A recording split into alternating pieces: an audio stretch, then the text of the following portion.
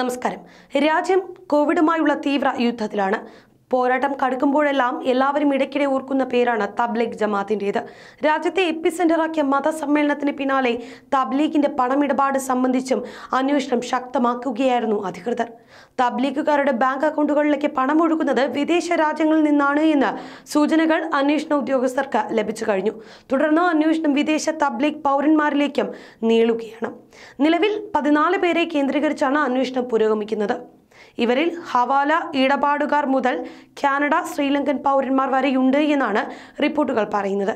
തബ്ലീഗുമായി ബന്ധപ്പെട്ട് ഹവാല ഇടപാടുകൾ നടത്തുന്ന നൂർ എന്നയാളെ കേന്ദ്രീകരിച്ചാണ് അന്വേഷണം എൻഫോഴ്സ്മെന്റ് ഡയറക്ടറേറ്റ് ഊർജിതമാക്കിയിരിക്കുന്നത്. ഇയാൾക്ക് മൗലാന സാദുമായി നേരിട്ട് ബന്ധമില്ല എങ്കിലും തബ്ലീഗിന്റെ അക്കൗണ്ട്സ് കൈകാര്യം ചെയ്യുന്ന അബ്ദുൾ ആലിം എന്നയാളുമായി ബന്ധമുണ്ട് എന്ന് കണ്ടെത്തി കഴിഞ്ഞു. അബ്ദുൾ ആലിമാണ് കറൻസി എക്സ്ചേഞ്ച് കൈകാര്യം ചെയ്യുന്നത്.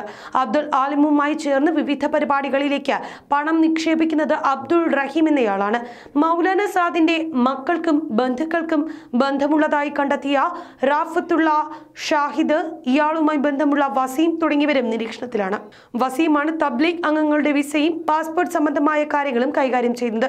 മൗലാന സാദുമായി ഇയാൾക്ക് ബന്ധമുണ്ട്.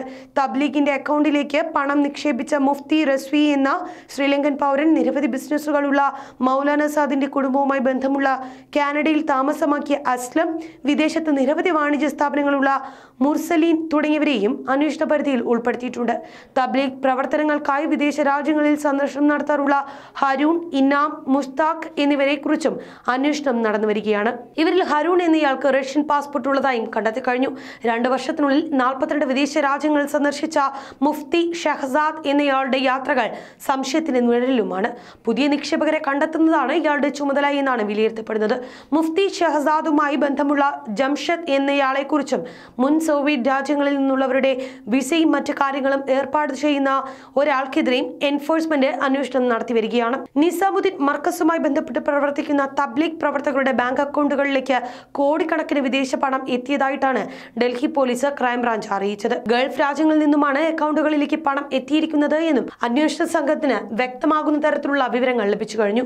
നിസാമുദ്ദീൻ മർക്കസിന്റെ സാമ്പത്തിക ഇടപാടുമായി ബന്ധപ്പെട്ട് തയ്യാറാക്കിയ വിശദമായ റിപ്പോർട്ട് ക്രൈംബ്രാഞ്ച് എൻഫോഴ്സ്മെന്റ് വിഭാഗത്തിന് കൈമാറുകയായിരുന്നു.